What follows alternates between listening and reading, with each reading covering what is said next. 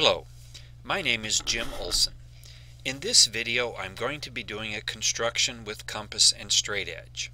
I'll be using the smart board but you should be able to see all the steps for doing the construction and you'll be doing this with an actual compass and actual straight edge. Today I will be drawing a line or constructing a line parallel to a given line through a point which is not on the line. So to start with we need to have a line and a point not on the line. Now I'm going to construct an arbitrary line through point P which is going to serve as my transversal. So let me go ahead and get a ruler now.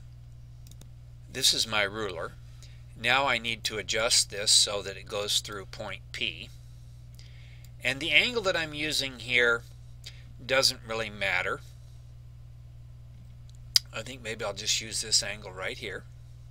So now let me go ahead and get my marking pen here.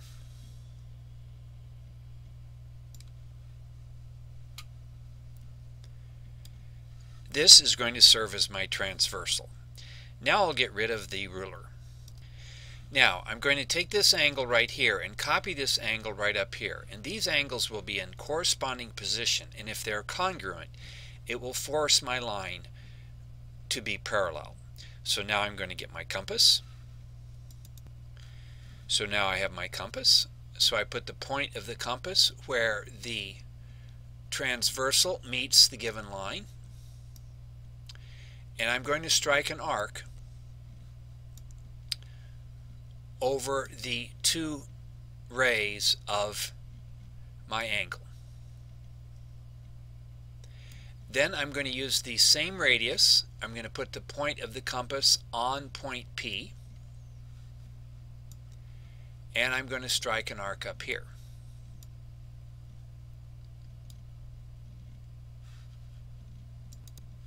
Now I'm going to get this distance and transfer it up here.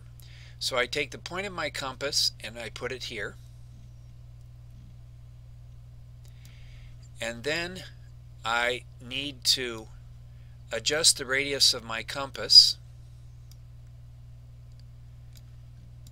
so that it's this distance across here. Then I'm going to strike an arc right here. Then I'm going to transfer that distance up onto my other angle.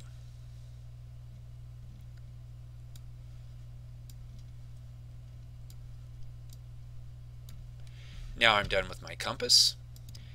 Now I'm ready to get my ruler and complete the line from point P through the point of intersection of the arcs.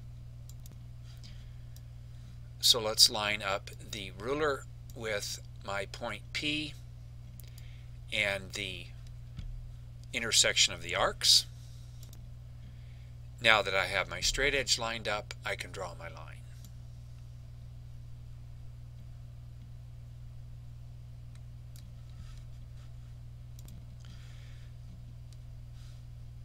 Go ahead and put arrowheads on my my line here. This blue line is the desired line parallel to the given line through the given point. Have a great day.